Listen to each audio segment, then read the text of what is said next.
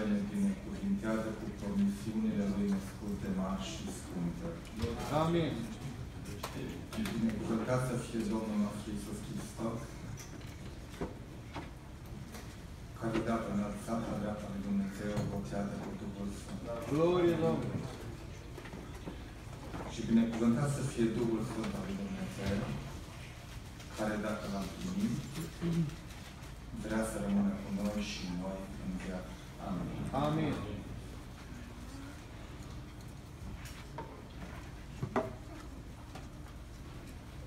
Ați ascultat deja astăzi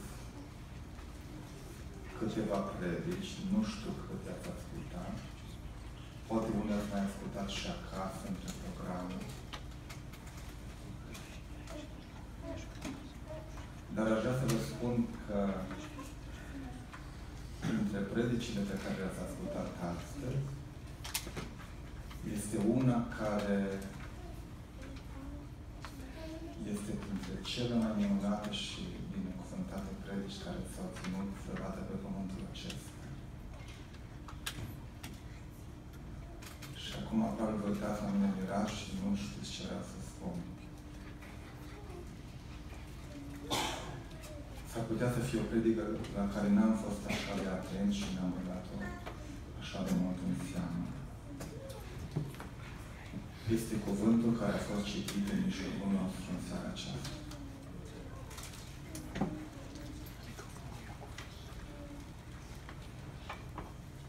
Este o predică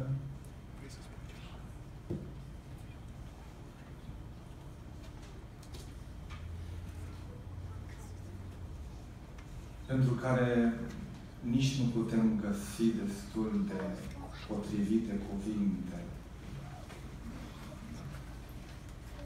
ca să spunem cât de minunată a fost. Nu știu dacă și dumneavoastră gândiți la fel sau considerați la fel.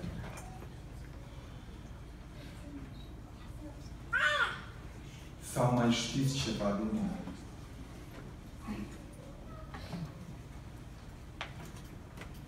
Sau poate știm cum a început această predică.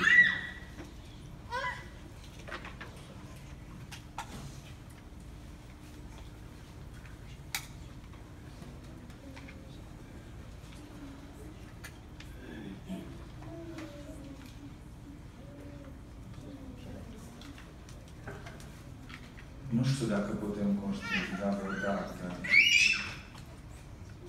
cât se întâmplă în viața noastră că pierdem, pentru că nu acordăm importanța și atenția care se cuvine Cuvântului Lui Dumnezeu. Pentru că aș vrea să vă spun predica Apostolului Petru a fost o predică mai minunată decât cea pe care o auzit în după masa aceasta. Noi o să căutăm numai să vedem anumite lucruri pe care Apostolul Petru, prin de Duhul Sfânt, le-a spus în ziua aceea. Și predica lui a început cu cuvintele Bărbați israeliți, ascultați cuvintele acestea.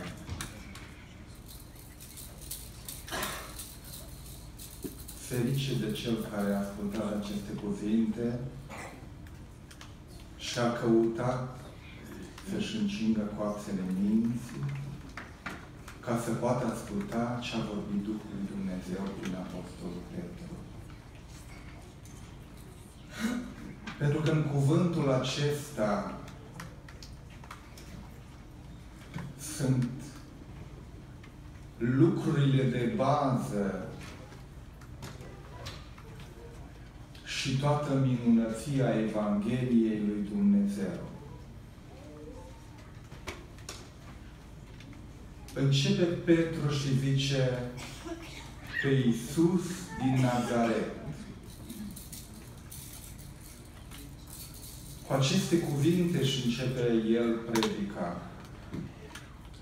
Cu cel mai minunat și mai înălțat nume care există pe pământul acesta sau în cerul sau unde altundeva. Numele înălțat mai presus de orice nume.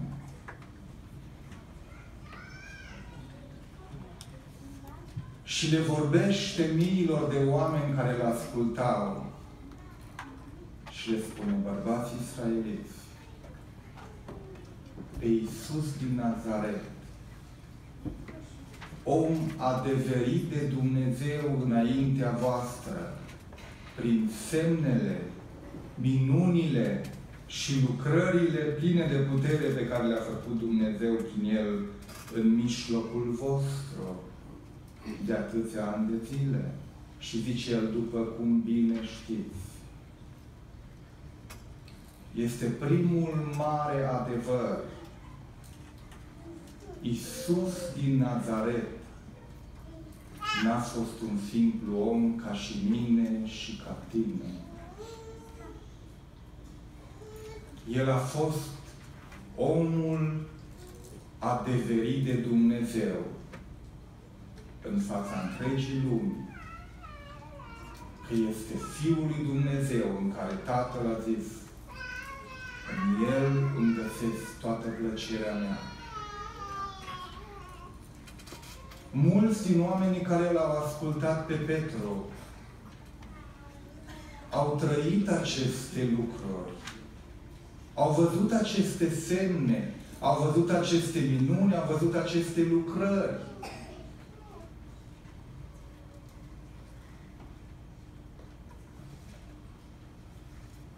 Da,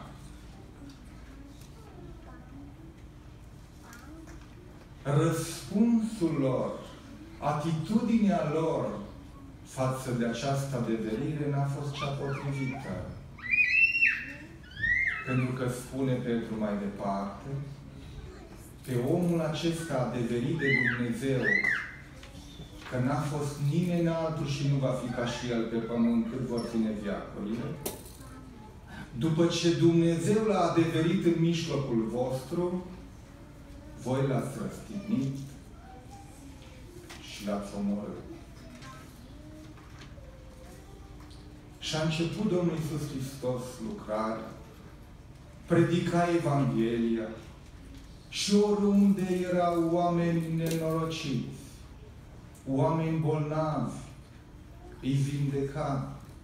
Unde erau oameni stăpâniți de duhuri necurate, îi elibera Vă aduceți aminte când a fost omul acela în ținutul Gadarenilor? Când l-a întrebat Domnul Iisus pe Duhul rău din el, care ți este numele? Și a zis, legiune, că suntem mulți. Și când duhurile necurate l-au lăsat, l-au rugat pe Domnul Iisus Hristos să nu le trimită în adânc, numai să lasă să intre în porcii care erau acolo. Toți porcii s-au aruncat în apă și s-au unecat. Știți cam câți erau? în jur de 2000. Și omul acesta a devenit de Dumnezeu. Le-a poruncit să iasă afară și au ieșit. Și când au venit oamenii din ținutul acela, după ce s-au dus porcarii să le spună ce s-a întâmplat, L-au văzut pe omul acela, zice cuvântul Domnului, în toate mințile acolo lângă Domnul Iisus Hristos. Și au rămas înmămuriți. Că omul acesta, nici legat cu lanțuri și cu picioare nobezi, nu putea să fie ținut, că rupia tot și era chemit de duhurile rele. Dar a venit omul adeverit de Dumnezeu și a spus, ieși afară din omul acesta.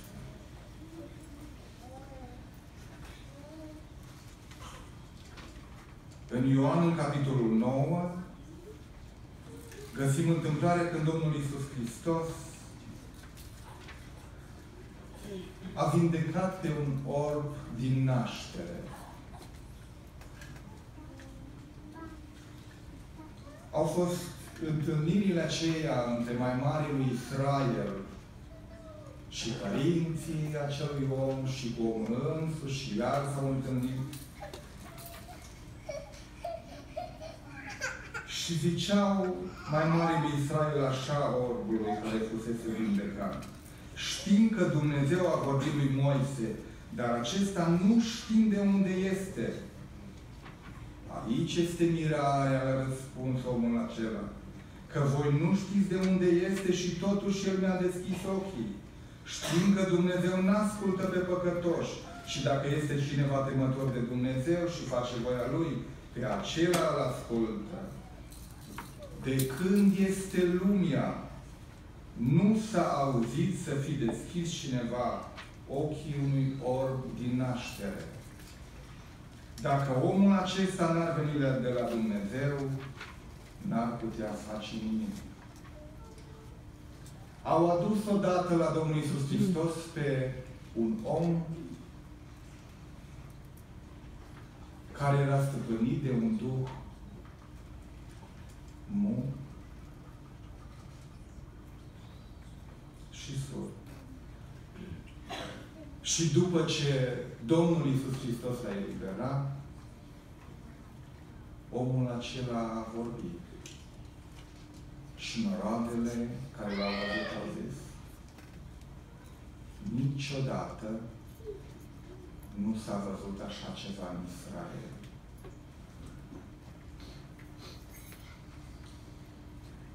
A fost omul Iisus Hristos din Nazaret, un om adevărat de Dumnezeu. Și Nicodim, unul din învățătorii lui Israel, când a venit la el, i-a zis, învățătorule,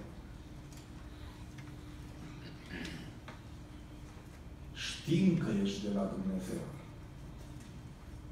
Că nu se poate un om să nu fie de la Dumnezeu și să facă lucrările și semnele pe care le faci tu.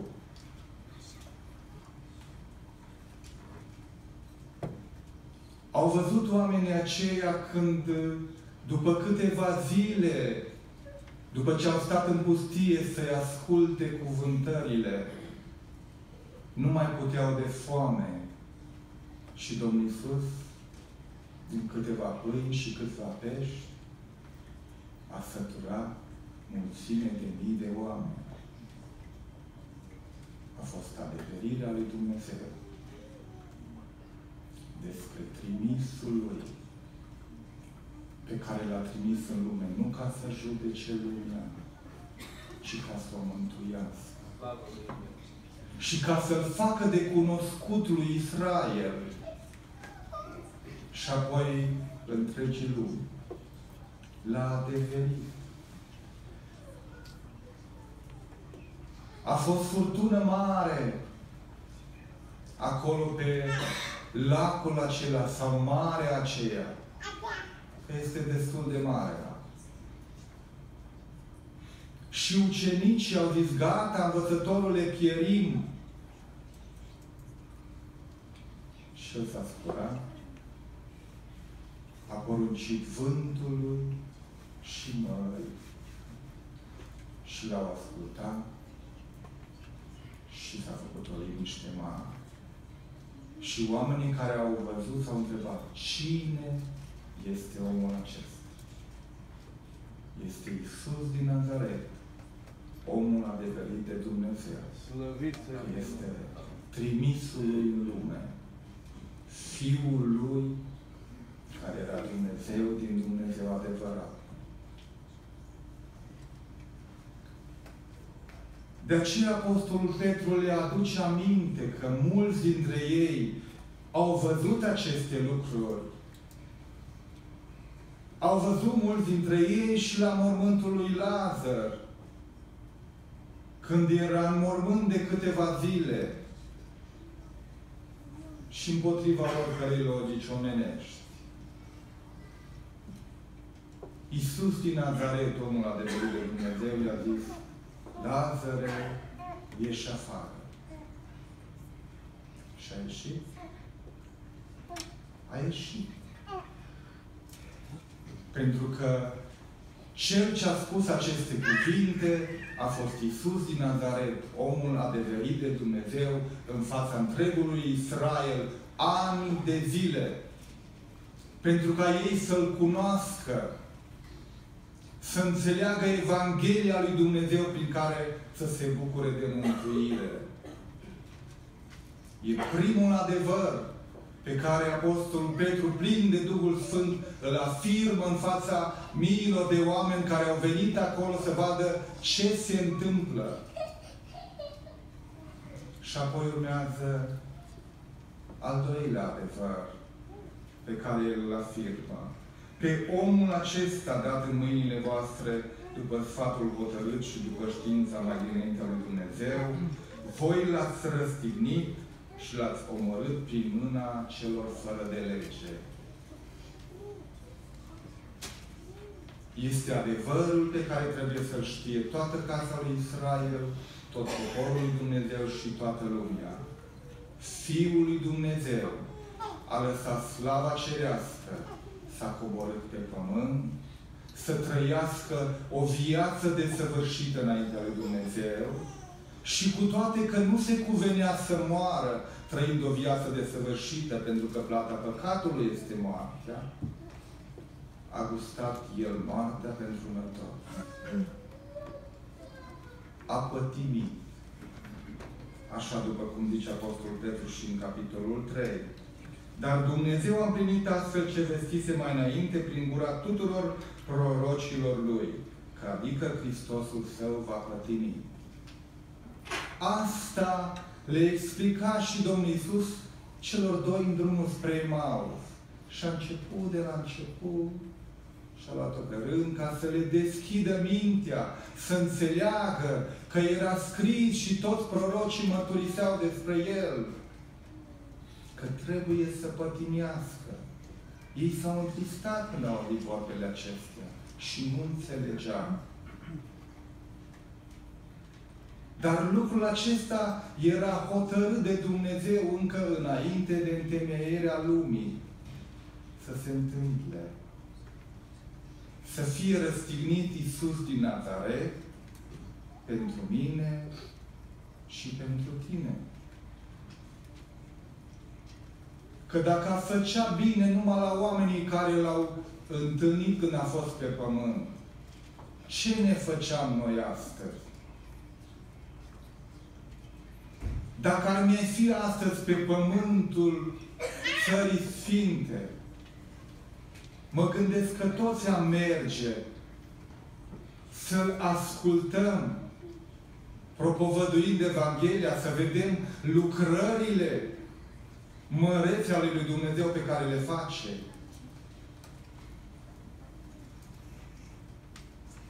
Dar planul lui Dumnezeu a fost altul.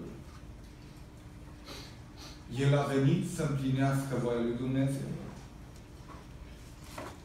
Și a trebuit să-și dea viața pentru mine și pentru tine. Că dacă nu, pentru păcatele mele și pentru păcatele tale, mi-ar fi așteptat ziua mâniei lui Dumnezeu, în care nimeni nu poate sta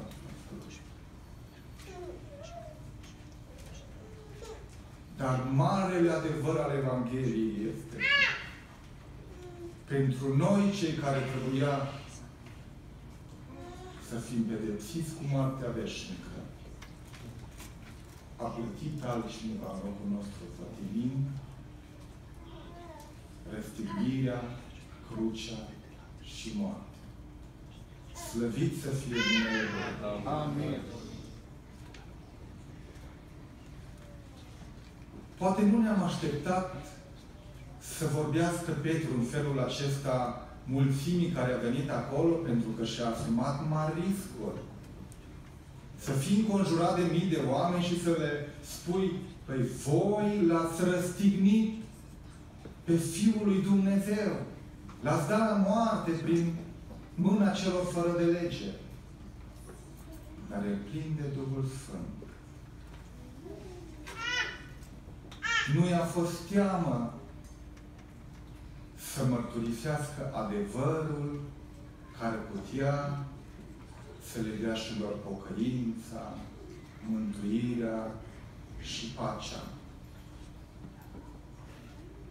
Lucrurile acestea erau lucruri pe care oamenii care au ascultat le-au știut. Dar Apostolul Petru continuă cu următorul adevăr. Dar Dumnezeu l-a înviat deslegându-i legăturile morții, pentru că era cu neputință să fie ținut de ea. Aici deja Petru a ajuns la lucruri mai greu de crezut, pentru că oamenii aceia nu le-au văzut.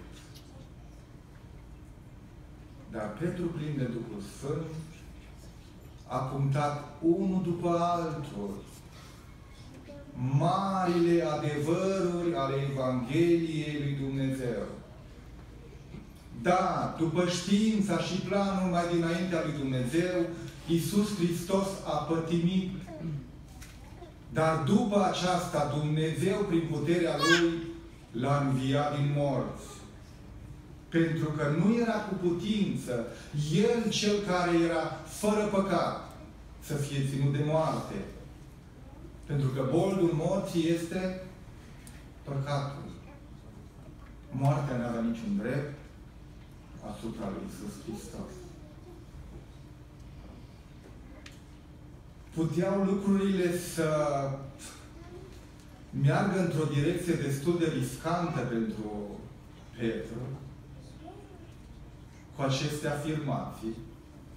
Da, Apostolul Petru le spune lor lucruri care le știau pentru că să-i aducă la înțelegerea și la credința în acest adevăr. Și zice, fraților, noi toți suntem urmașii lui David, patriarhul nostru. El vorbește în psalmul 16 pe care voi îl știți și zice așa, nu îmi vei lăsa sufletul în locuința morților și nu vei îngădui ca Sfântul tău să vadă putredirea. Zice David așa, zice. Credem noi ce zice Patriarhul David, credem. Ei, a vorbit David despre el lucrul acesta? A zis Apostolul Pavel să-mi fie găduit, fraților, să vă spun că David, după ce a slujit lui Dumnezeu, în vremea lui, după voia lui Dumnezeu, a adormit, a murit nu a vorbit despre el aici, pentru că știm toți, mormântul lui este în mijlocul nostru până în ziua de azi. Și astăzi e mier la mormântul lui David și se roagă. Dar a zis el, David era un proroc al lui Dumnezeu. Și David a știut că Dumnezeu i-a făgăduit cu jurământ că după el o să ridice pe un urmaș al lui, pe scaunul de domnie, care va ține în viață. Și atunci de aici Apostolul Petru vige și le spune David, patriarhul nostru, prorocul lui Dumnezeu, despre învierea lui Isus din Nazaret din morți, a prorocit când a vorbit în Psalmul 16. Și oamenii aceștia au început să se gândească la aceste lucruri.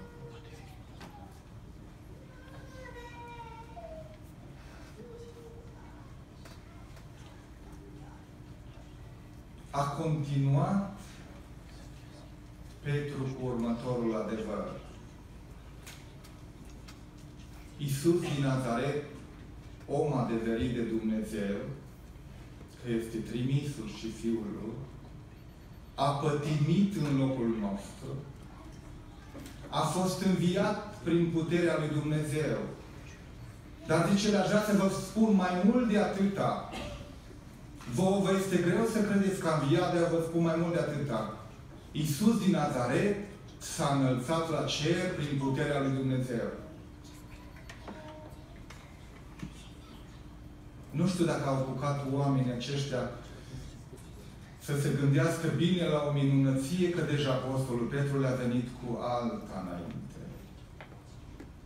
Dar acestea sunt marile adevăruri pe care s-a zidit Biserica lui Dumnezeu, pe care s-a zidit creștinismul.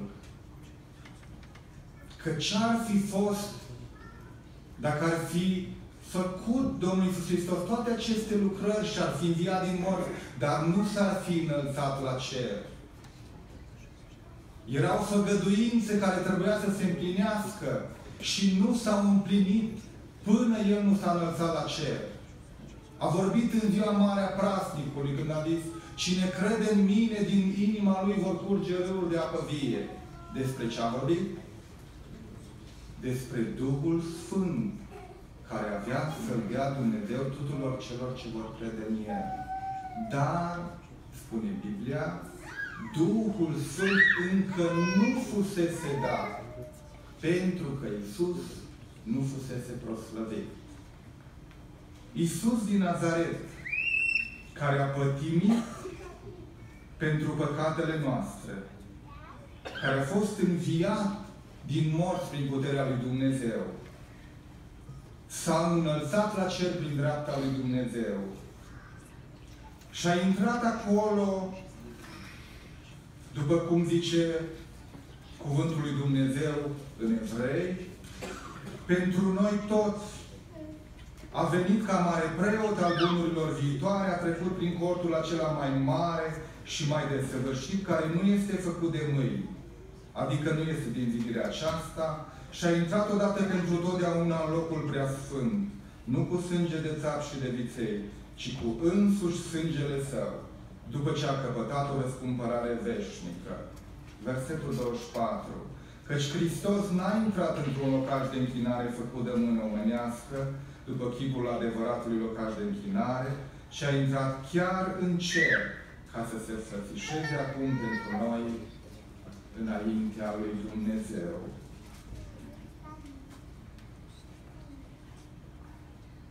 Aș vrea să vă întreb un lucru. A avut Petru vreo dovadă că Domnul Iisus Hristos a înălțat la cer? Unii zicem că a avut, da. Care este dovada?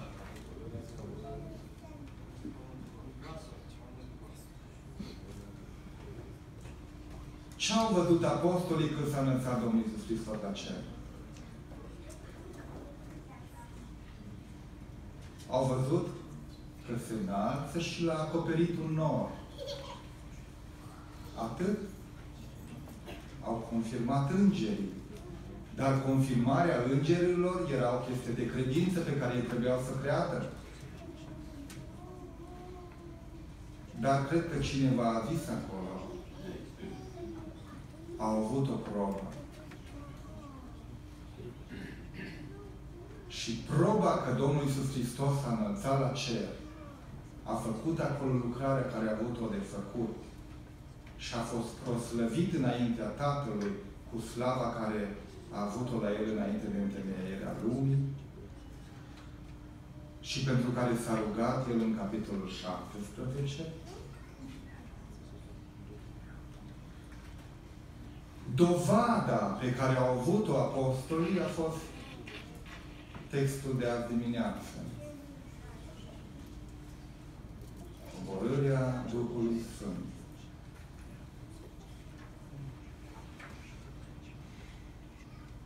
Pentru că a spus Domnul Iisus Hristos ucenicilor, v-am zis că o să mă întorc la Cel ce m-a trimis și acum inima fi plină de întristare. Și era normal să fie așa. Că toată nădejdea lor era în El și au lăsat tot ce au avut în viața asta. Ca să-L urmați.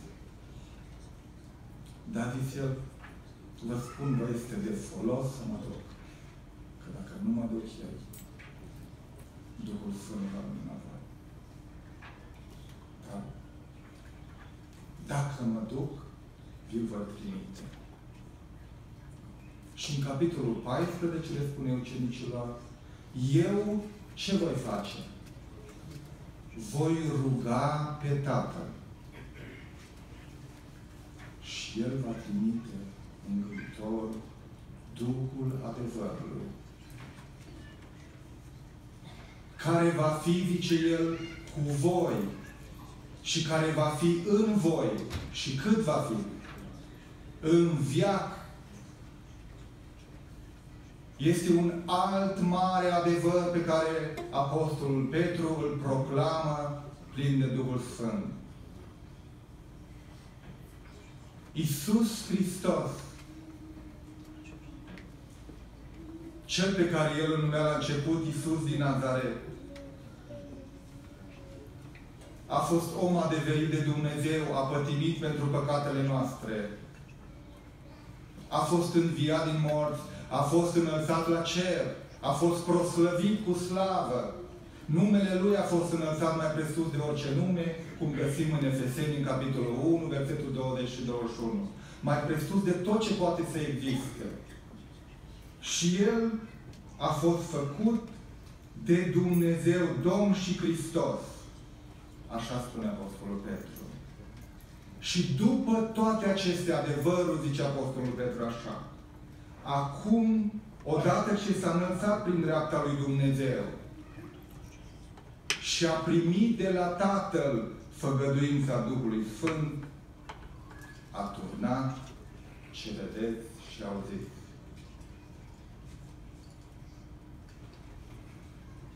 Noi creștinii din viacul acesta suntem gata să credem toate adevărurile proclamate de Apostolul Petru prin Duhul Sfânt aici? Noi n-am făcut decât numai să spicuim din ele. El le-a proclamat, noi ne uităm aici și vedem puținul cât putem noi să descoperim din ceea ce a proclamat El.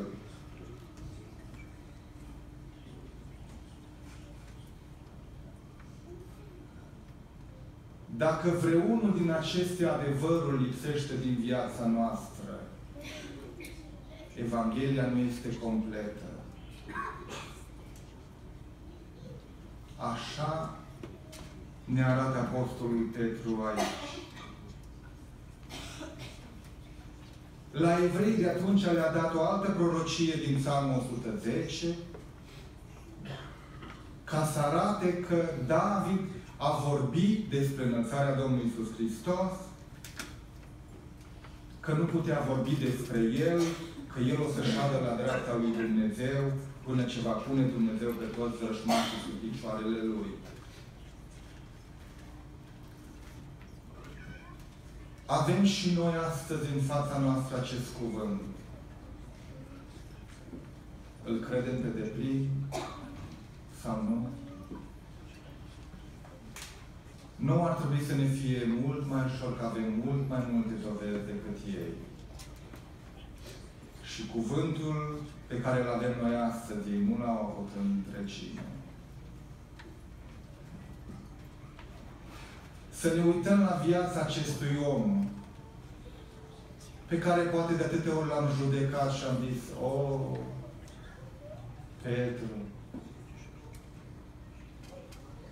ăla care s-o lepăda de Iisus Hristos în fața unei slujnice. S-o făcut de râs.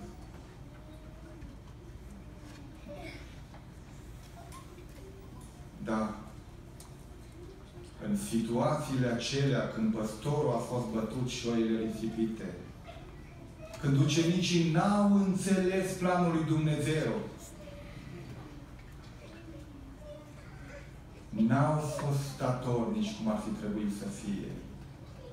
Dar uitați-vă la pescarul acesta, care înainte s-a lepădat în fața acești, acelei slujnice. Uitați-vă cum stă în fața la mii de oameni acum și cu ce putere și curaj le vorbește. Și după ce și-a încheiat cuvântarea, vreo trei mii de suflete s-au întors la Dumnezeu crezând în Evanghelia pe care a proclamat-o, crezând că Iisus Hristos pe care l-au răstignit este Fiul lui Dumnezeu înviat, înălțat la cer, mare preot mișlocitor și cel care a turnat ce vedeți și zis, adică Duhul Sfânt, pe care i l-a văzut atunci în ziua aceea, când au alergat acolo să vadă ce este. Și a zis el, făgăduința aceasta este numai pentru noi apostoli. Numai pentru noi 120. Așa a spus? Nu. A zis, făgăduința aceasta este pentru voi. pentru copiii voștri și pentru toți cei ce sunt departe acum. În oricât de mare număr îi va chema Domnul Dumnezeul nostru. Și dacă legăm cuvântul acesta de cel din Ioan 14, făgăduința aceasta este pentru toți și făgăduința aceasta ține în viac. După cum zicea Domnul Hristos, El va fi în voi și cu voi în viac. Și așa o să ajungem în ziua de care se vorbea azi dimineață, că din pricina Duhului Sfânt al lui Dumnezeu, care este în noi, în ziua binecuvântată când Iisus din Nazaret va reveni pe norii cerului, Dumnezeu, din pricina Duhului Sfânt care este în noi, ne va învia și pe noi ca să fim pentru veșnicie cu El. Acesta este adevărul Evangheliei pe care Apostolul Petru l-a proclamat, plin de Duhul Sfânt. Uitați-vă că în capitolul următor merge la templu cu Ioan și era acolo un slăbănog de mai bine de 40 de ani, care stătea în fiecare zi acolo să cerșească de milă. Și când a venit Petru cu Ioan, și le-a întins o mână și le-a cerut să-i dea ceva. Petru, cel care se l-a pădat în fața slujnicei, a zis așa, argint și urna. Că am lăsat totul și businessul meu de pescar să-L urmez pe Iisus în Dar am primit ceva schimb și ce am îți dau. În numele Lui Iisus Hristos, ridică-te, ia spatul și umblă. L-a apucat de mâna dreaptă, a ridicat în sus și slăbănăva a intrat în templu, sărim și lăudăm pe Dumnezeu. Este vreo diferență în viața lui Petru după împlinirea promisiunii lui Dumnezeu? Mare. Uitați-vă că veni mai mari norodului. Se întâlnește din nou cu ei, cu cei în fața cărora s-a lepădat. Când a fost acolo, pe la curtea Marelui Preot. Și acum se întâlnește cu Ana, cu Caiafa și cu toți cei mari. Nu mai tremură Petru. Nu fuge și nu se leacă de el. Și zice, au pus pe, pe Petru și pe Ioan în mijlocul lor și au întrebat, cu ce putere sau numele cui a făcut voi lucrul acesta? Și uitați atitudinea lui Petru. Atunci Petru, plin de Duhul Sfânt, le-a zis, mai mare norodului și bătrânea lui Israel, fiindcă suntem trași astăzi la răspundere pentru facere de bine făcut un om bolnav și suntem întrebați cum a fost vindecat, să știți tot și să știe tot norodul Israel. Omul acesta se înfățișează înaintea voastră pe deplin sănătos în numele lui Iisus Hristos din Nazaret, pe care voi l-ați răspundit, dar pe care Dumnezeu l-a înviat din moarte. Un om de rând, un om neînvățat. În fața mai marilor lui Israel, de care toți purtau teamă,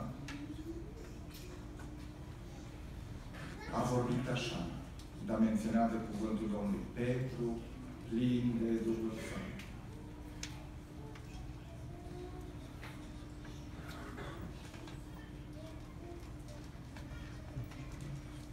Le-au poruncit să nu mai învețe pe nimeni în numele Domnului Iisus Hristos. Și Petru putea să tacă și să zică, voi ziceți ce vreți, noi să facem ce vrem. Dar el a spus așa. Noi nu putem să nu vorbim despre ce am văzut și am auzit. Pentru că trebuie să ascultăm mai mult de Dumnezeu decât de oameni. Uitați-vă în capitolul 5 când s-au strâns acolo darurile acelea de bunăvoie. Și vine Anania și îl întreabă Petru, Anania, cu cât a vândut mășoara? Ce s-a întâmplat cu Anania? A căzut acolo și a murit. A venit soția lui și a întrebat-o cu atâta, cum de v-ați gândit să faceți așa? Deci cuvântul Domnului a căzut la picioarele lui Petru și și-a dat Duhul. Vedem care este diferența în viața acestui om? În versetele următoare din capitolul 5 zice cuvântul Domnului așa, atât de minunată era lucrarea Duhului Sfânt. Zice, până acolo că scoteau pe bolnavi chiar pe ulițe și îi puneau pe paturi și pe așternuturi. Pentru că atunci când va trece Petru, măcar umbra lui să treacă peste vreunul din ei.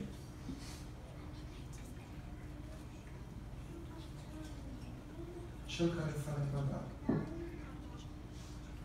cel care era un pescar necărturat și nu știa să țină o cuvântare. Dar pentru că a cunoscut și a crezut tot adevărul Evangheliei lui Dumnezeu, a fost binecuvântat cu plinătatea Duhului Sfânt, prin care Dumnezeu a făcut în viața lui, nu El. Cum zicea Apostolul Pavel, totuși nu El, ci Harul lui Dumnezeu care este în mine. Pescarul acela aștepta oamenii să treacă el pe uliță și veneau acolo și duceau pe bolnavi, pe paturi, pe așternuturi. Dacă nu se poate altceva, măcar să treacă umbra lui să-i atingă. Că-i vindeca puterea lui Dumnezeu.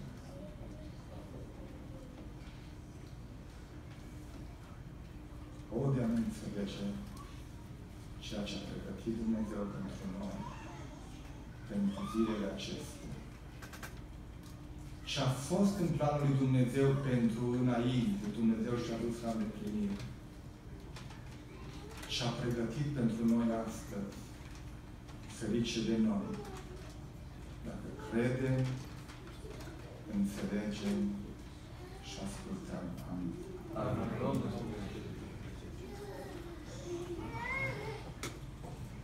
frați și surori,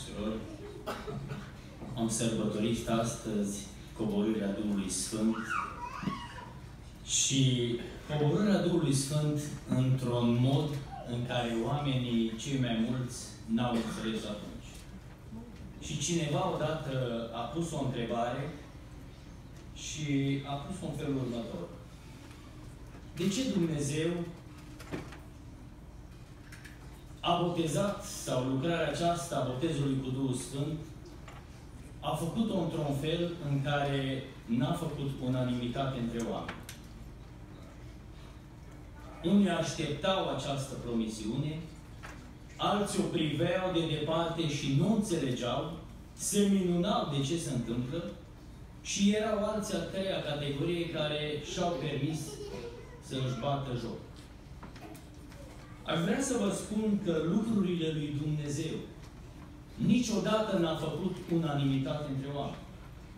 Și mai ales atunci când oamenii le judecă cu mintea omenească și nu le judecă spiritual. Nici nașterea Domnului Isus Hristos în ochii sau în mintea celor care judecă lucrurile firește, parcă n-a fost după cum trebuia să fie nici viața Domnului Isus Hristos, nici minunile care le-a făcea Domnul Isus Hristos. Măcar că erau liderii lui Israel care le vedeau și trebuia, ar fi trebuit să înțeleagă acele minuni. N-a făcut unanimitate. Ar vrea să vă spun ceva. Nici botezul Duhului Sfânt, modul în care s-a manifestat, n-a făcut unanimitate și nu o să facă. De ce este așa?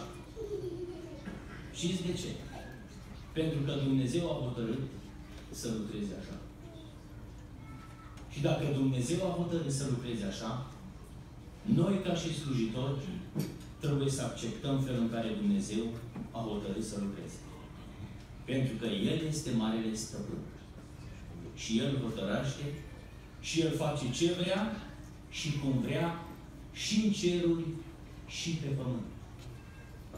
Spunea unul dintre proroci, mai a plecat, Doamne, și m-am lăsat înduplecat. Pentru că ai fost mai tare decât mine. Ce ne rămâne nou în vremurile acestea? Sunt vremuri târzii. Sunt vremuri târzii. Și vorbesc cele mai multe confesiuni religioase, vorbesc despre Duhul Sfânt. Dar aș vrea să vă spun ceva. Noi nu numai să vorbim despre Duhul Sfânt. Trebuie să credem în adevăr lucrarea aceasta a Duhului Sfânt. Care vine, să spunem așa, pe înțelesul nostru, cu un pachet de lucruri pe care trebuie să le acceptăm așa cum Dumnezeu le-a lăsat. Să știți că lucrurile și vorbirea în limbi, așa cum, a, cum s-a citit azi dimineață, nu s-a întâmplat numai atunci. Îngăduiți-mă să, să vă spun că poate mâine suntem mai liberi și ne permitem să mai stăm 5 minute în plus. Să știți că se întâmplă și în zilele noastre. Și cunosc un caz. Concret, personal. Mi-aduc aminte când eram în România, eu aveam un frate la noi în adunare, era prezbiter, o persoană în vârstă de vreo 80 de ani, foarte discret și niciodată nu l-am auzit să iasă în evidență și nu l-am văzut. Cu timpul a murit și pentru că cântam în fanfară am participat la mormântarea Dumnealui. Și spre surprinderea noastră, la mormântare a fost înmormântat în cimitirul eroilor, în cimitirul Crișan din Cluj. Și n-a fost înmormântat în partea eroilor, unde era partea nouă, era o parte unde erau soldați care mureau soldați în termen, a fost îngropat într-o parte unde era, de fapt, partea veche a eroilor din al doilea război mondial. Era acolo un mormânt pregătit cu marmură, și la căpătâi nu erau cruce, era o stea roșie, steaua lui Lenin. Ne-am uitat unii la alții pentru că n-am înțeles fanfariștii nimic din ce se întâmplă acolo. Cei din conducerea bisericii cunoșteau despre ce este vorba. Noi n-am înțeles nimic. Am cântat și am cântat două, trei marșuri funerare. A fost îngropat și am plecat la casele noastre și nu ne-am permis să întrebăm pe slujitori ce se întâmplă. Cu timpul am aflat și istoria acestui om. De fapt, era un ucrainian care era de pe vremea războiului, al doilea război mondial, a rămas în România. Era atunci înrolat în armata Rusiei. Și a rămas în România și el a rămas în registrul Uniunii Sovietice. De aceea avea și mormântul pregătit așa cum era. Și ce s-a întâmplat cu omul acesta, cum a ajuns, am aflat uh, povestea lui cum a ajuns la credință. Și să spune că după al doilea război mondial a rămas, s-a căsătorit cu o româncă și frecventa cercurile de rugăciune în Cluj.